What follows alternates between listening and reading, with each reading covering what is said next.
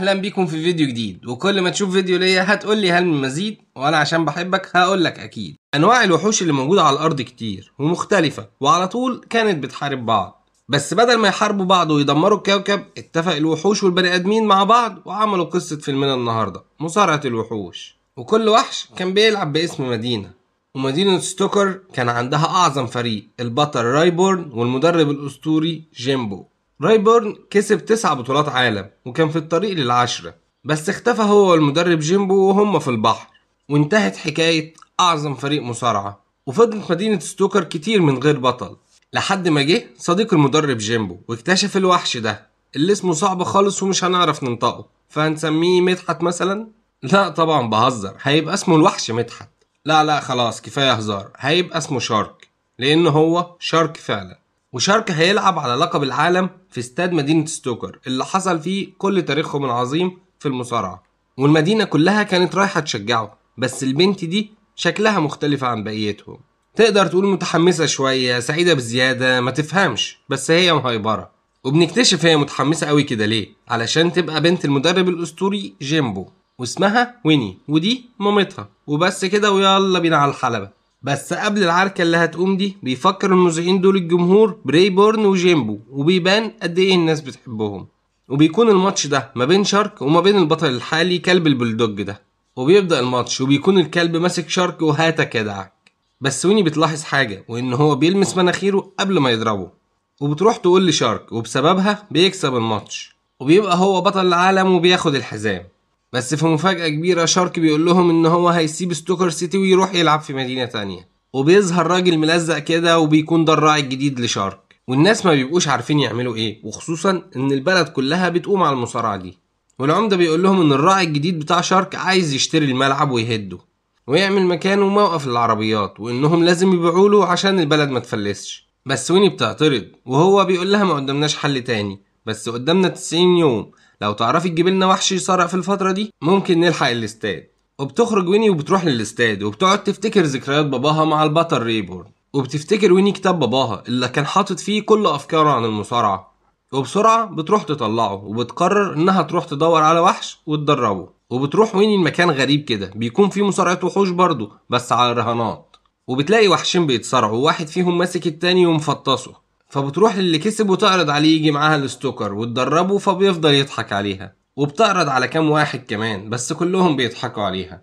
وكانت قربت تيأس لحد ما بتشوف الوحش ده. وأول ما بتشوفه بتفتكره على طول. ده يبقى ابن رايبورن البطل الأسطوري واسمه ستيف.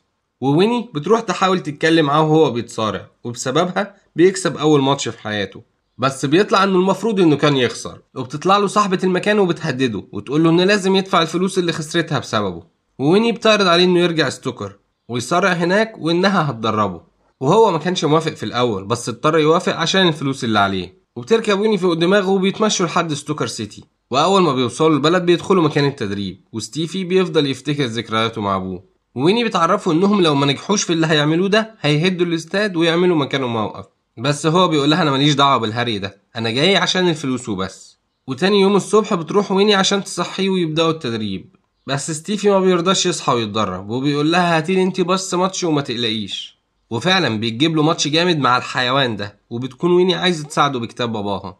وهو كان منفض في الأول بس بيتفاجئ لما يعرف إن الماتش بجد لأنه كان مفكره زي الماتشات اللي بيمثل فيها وياخد فلوس على الخسارة. ولما عرف فضل يهرب منه وده يجري وراه. لحد ما في الآخر بيتعبوا هما الاتنين ويقعوا بس ستيفي بيلحق يحط إيده عليه وهو اللي بيفوز. وفي الوقت اللي اختاروا فيه إن الماتش ده يبقى أسوأ ماتش في الأسبوع بيكون شارك قاعد بياكل في الحيوانات اللي بتلعبه هناك. وبتحاول ويني تدرب ستيف وبيكون فاشل جدا في التدريبات. ويني ما بتبقاش عارفة ليه مع إنها ماشية على نفس الخطوات اللي في الكتاب. فبتقعد تتكلم معاه وكانت عايزة تعرف هو بيحب إيه. وبالصدفة بتعرف إنه بيحب الرقص فبتيجي في دماغها فكرة. وفضلت تدربه إنه يقاتل بالرقص اللي هو بيحبه وعارفه كويس. وبيدخل ماتش وبيفوز بطريقة الرقص الجديدة. وفضلوا يتدربوا أكتر على الطريقة دي وكل ما يتدربوا زيادة يكسب ماتشات تانية. لحد ما بيجي ماتش مهم مع الكائن العملاق ده. وبطريقة رقص غريبة بيكسب الماتش وبيكسبوا فلوس كتير. وكمان بيطلعوا على التلفزيون وبيبدأ يبقى ليهم مشجعين. بس بتكون عايزة ماتش كبير ويبقى في بلدها علشان تنقذ بيه الاستاد. وفعلا بيتصل بيها وكيل أعمال كلب البولدوج اللي اتهزم من شارك في الأول. وبتفرح قوي لما بتعرف إن هم عايزين يلعبوهم. بس أول ما بتدخل الاستاد بتلاقي العمال بيشيلوا حاجتهم. وبتعرف إن اللي هيشتري الاستاد دفع فلوس زيادة عشان يقدم المهلة وإن العمدة بتاعهم عنده دلوقتي علشان يمضي العقود. وبتروح هناك وبتحاول تمنع العمدة وتقول له ما يمضيش على العقود وتقول له إنها جابت ماتش كبير هينقذ الاستاد. فشارك بيقول لها إنه كده كده هيهد الاستاد عشان محدش يفضل يفكره ببطولات رايبورن ويفضلوا يقارنوه بيه. ولما حاول ستيف يرد عليه مسكه وضربه وبيطلع على السطوح يتكلم هو ويني وبيعرف إن هي يأست خلاص. فستيف بيرجع للمكان القديم اللي كان بيصارع فيه وبيدفع الفلوس اللي كانت عليه من الماتشات اللي هو كسبها. وهو بيتكلم مع الرئيسة بتاعته وبتقول له إنه طول عمره افشل واحد عندها. وبيشوف صورته وهو صغير مع أبوه وبيقرر إنه لازم يتغير. ويني بتبقى قاعدة وتتفرج على الاستاد اللي هيهدوه. لما بيجي ستيف وبيخضها وبيقول لها إنه قرر خلاص ما يبقاش فاشل ولازم يتغير. وبيطلب منها ترجع مدربته وبيقول لها لازم ننقذ الملعب. وشارك والراعي بتاعه كانوا عاملين مؤتمر صحفي قدام الاستاد قبل ما يتهد. بس بيطلع لهم ستيف وويني وبيأخروا عملية التفجير. وستيف بيتحدى شارك في ماتش مصارعة. بس شارك بيقول له انت مين وابن مين علشان أنا أصارعك يا تافه وهنا ستيف بيعلن السر اللي كان مخبيه ويقول له أنا بيه ابن بيه وانه يبقى ابن البطل الأسطوري ريبورن. ويتفقوا على ثلاث جولات. ولو ستيف فضل عايش الاستاد مش هيتهد. والبلد كلها اتجمعت وبنوا لستيف مكان علشان يتدرب فيه. وستيف كان كل مرة بيفشل بس بيرجع ويحاول من تاني.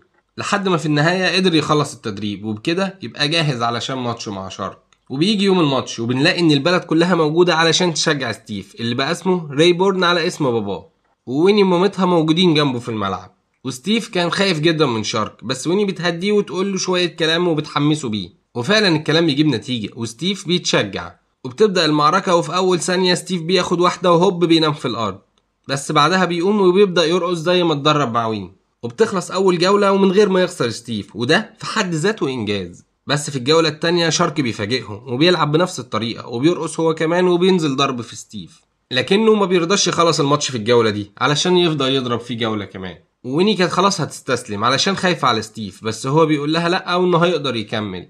بس ستيف بيقرر إنه هيجرب طريقة جديدة. والجولة التالتة بتبتدي وفعلا بينجح ستيف إنه يضرب شارك. وبيفضلوا يضربوا في بعض شوية. لحد ما في الآخر ستيف بيقع على شارك وبيناموا هما الاتنين في الأرض.